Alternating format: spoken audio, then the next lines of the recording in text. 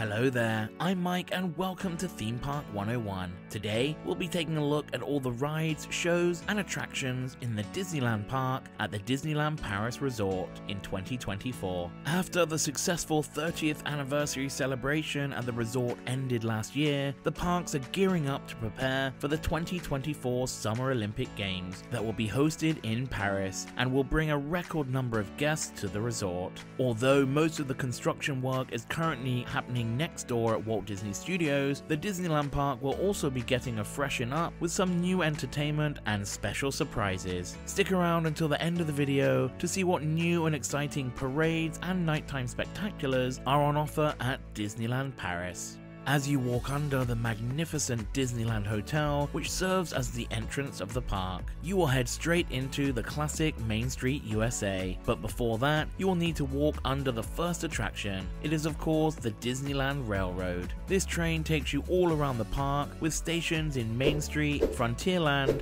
Fantasyland, and Discoveryland. It also features unique dioramas and even takes you inside some of the attractions around the park, including Pirates of the Caribbean and Indiana Jones. Along Main Street, you can take a ride in the horse-drawn streetcars or the Main Street vehicles that take you to and from the town square and Central Plaza. Another unique detail about Disneyland Paris's Main Street are the two wonderful arcades that run either side of the street. You can learn about how the Statue of Liberty was created along the Liberty Arcade, or take a stroll down the Discovery Arcade to check out some amazing models of yesterday's visions of tomorrow. At the end of Main Street, you will be facing the beautiful Sleeping Beauty Castle. As with all my attraction guides, I will be heading around the park clockwise, which takes us to the next area, Frontierland. The first attraction you will see is Big Thunder Mountain. This popular minecart roller coaster has a totally unique layout as it is mainly situated on an island in the middle of the rivers of the far west. It's a great coaster that offers amazing views of the other attractions in Frontierland as well as the rest of the Disneyland Paris resort.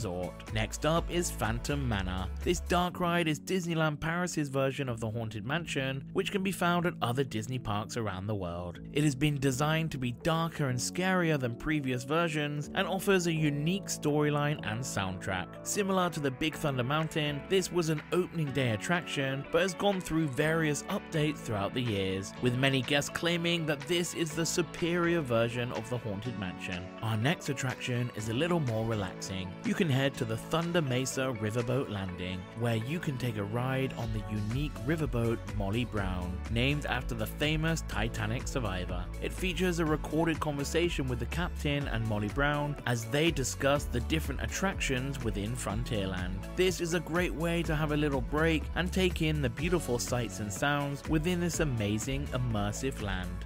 No Frontierland can be complete without a shooting gallery, and this one is no different. You can test your aim at the nicely themed Rustler Roundup shooting gallery for a small extra fee. For the little ones, you can visit the Frontierland playground that features canoe-shaped slides, teepees, and other small playground activities that are perfect for the younger guests. In this land, you will also be able to find the Frontierland Theatre, which is currently showing Lion King Rhythm of the Pride Lands. This is an amazing and unique show that features acrobats, dancers, and singers as they perform all your favourite songs from the Lion King movie. There are plenty of restaurants and other places to explore within Frontierland, which makes it a great way to start your day in the Disneyland Paris park. The next land you come to as you walk through the connected walkways is Adventureland, which is broken up into four different areas. First up is the Adventureland Bazaar with Middle Eastern influences and houses the walkthrough attraction Aladdin's Enchanted Passage. This features a series of different scenes from the classic Disney animation Aladdin and is the perfect way to kill 10 minutes in between the more popular attractions. The next area has more of an African inspiration and mainly features shops and two awesome restaurants themed to the Jungle Book and the Lion King. At the back of Adventureland is the mysterious Asian Jungle, which is home to the amazing roller coaster Indiana Jones and the Temple of Peril. This was the first roller coaster to feature an inversion at any Disney park when it opened in 1993. You are taken on an adventure in a mining train through a lost temple as you help Indiana Jones escape. This is one of the most thrilling attractions in the park and has a height requirement of 1.4 meters. The final section of Adventureland, and by far the largest area, is inspired by the Caribbean. You can go to the Adventure Isle, which is comprised of two different islands and four different attractions. On the North Island is the classic Swiss Family Treehouse, which has more details than any version found at other Disney parks around the world. You can go under the tree, where you can explore a network of caves filled with roots and was used as the Swiss family's cellar. You can also find a wrecked ship that the castaways originally used. On the South Island, you can find Captain Hook's ship moored near Skull Rock, where you can meet Mr. Smee and Peter Pan's nemesis, Captain Hook. You can find two playgrounds at the Pirates Beach that has plenty of rope ladders, slides, and you can even walk the plank. The last part of Adventure Isle is the huge mountain known as Spyglass Hill. It is mainly composed of mazes and caves where you can search for the hidden treasure. Some caves even reference the 1950 live action Disney movie Treasure Island. The final attraction in Adventureland is the guest favourite, Pirates of the Caribbean. This classic floating dark ride is most similar to the original Disneyland version, as it takes you through various scenes of battles, a town being raided by pirates, and of course the infamous Jack Sparrow makes an appearance. If you're only going to ride one ride in Adventureland, then this has to be it.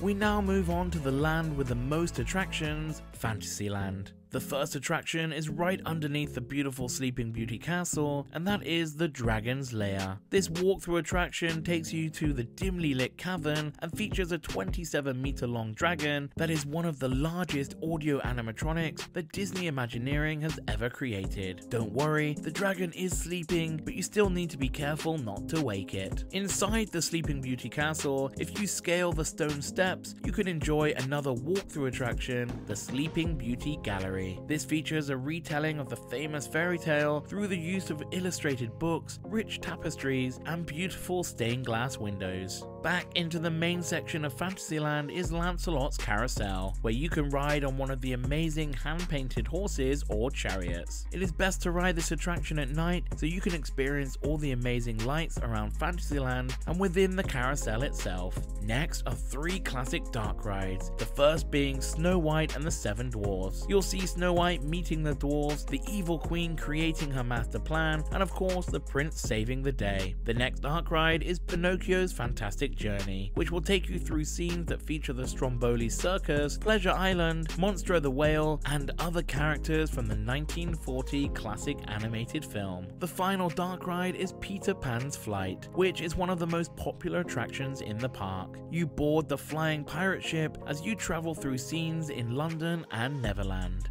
From one classic to another, Dumbo the Flying Elephant is an aerial carousel style ride that is perfect for younger guests. This is the only attraction that can be found at all six Disney castle parks worldwide, so you know it's a fan favorite.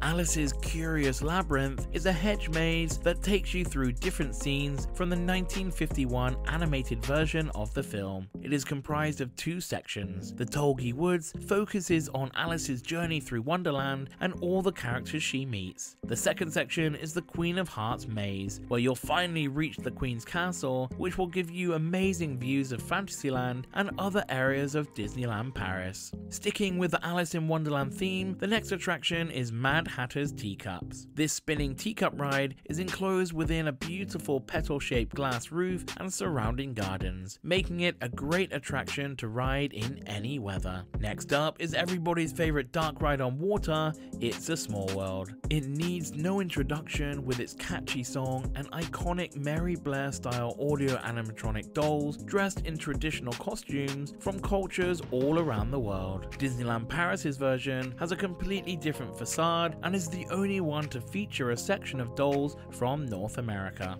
We now come to the Storybook Land canal boats that takes you on a leisurely paced outdoor boat ride through a winding canal featuring settings from Disney animated films recreated in miniature. This is a perfect way to relax and take in the different stories that Disney has shown us over its 70 year history. New scenes featuring Winnie the Pooh and Frozen will be added to this attraction later in the year. The final attraction in Fantasyland is the Casey Jr. Circus Train. This is a small kiddie coaster which has great views of the Storybook Land Castle and other scenes that are featured in the Storybook Land canal boats. You can also meet a host of different characters within Fantasyland. Head to the Princess Pavilion to meet your favorite Disney princess, or for a real magical experience, you can go and visit magician Mickey Mouse in his VIP dressing room.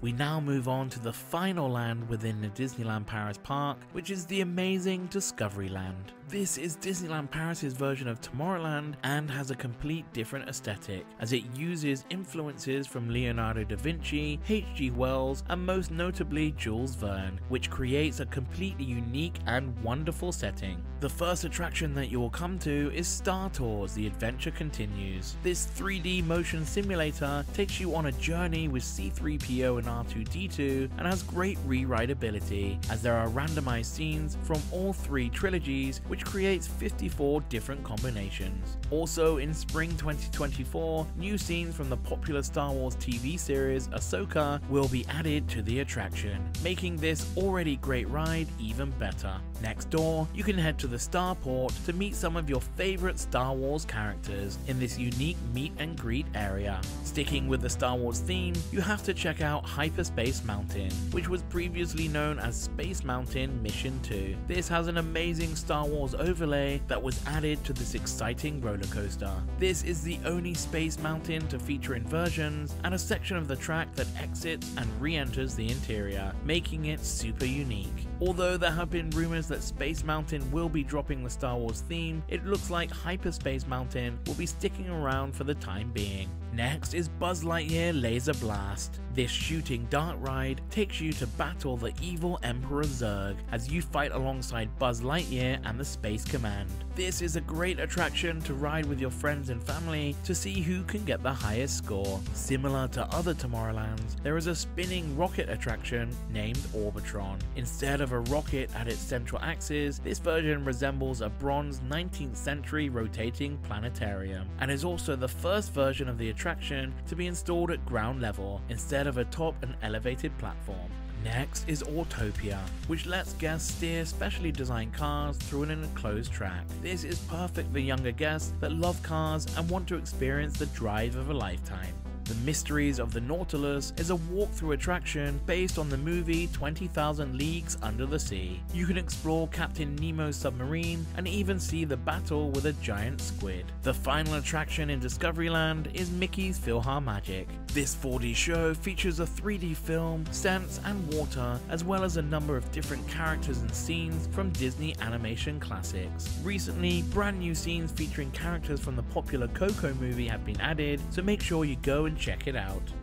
So that wraps up all the rides and attractions in the park. Let's take a look at all the parades and nighttime entertainment that Disneyland Paris has to offer. Let's start with the popular Disney Stars on Parade, which celebrates the discovery of the lands of imagination represented by various Disney and Pixar films, such as Toy Story, The Jungle Book, The Lion King, Finding Nemo, Sleeping Beauty, and Frozen. If you have ever seen a Disney parade before, then you know they are not to be missed, and this is exception. Last year, Disneyland Paris showcased brand new entertainment to celebrate the park's 30th anniversary. After the celebration ended in September 2023, the beloved Disney Dreams Nighttime Spectacular has returned. This beautiful 20 minute show makes great use of projection mapping technology, pyrotechnics, fountains, and of course fireworks to the backdrop of some classic Disney songs, making this the perfect way to end your day at the park. Also, during the anniversary, Disneyland Paris created a new nighttime spectacular called Disney D-Light that used a special drone light choreography that illuminates the sky over Sleeping Beauty Castle. It was very popular with guests, which is why they have introduced a brand new nighttime show called Disney Symphony of Colors. This also makes use of drone technology to create an electric parade in the sky. And as you can see, it is very spectacular and definitely worth a watch when visiting the resort resort. Also, on February 10th, Disney's Symphony of Colors will be expanding into a special daytime production in the Central Plaza, which will celebrate the amazing animation of Disney and Pixar and will be called A Million Splashes of Color. I hope you enjoyed the video, and if you would like to help support the channel, then consider subscribing or joining as a member for exclusive early access to videos and other exciting perks. Check out my affiliate links below for some great deals on tickets and hotel packages, and if if you want to know more about the park next door, Walt Disney Studios, then check out this video here. Thanks for watching, and I'll see you next time on Theme Park 101.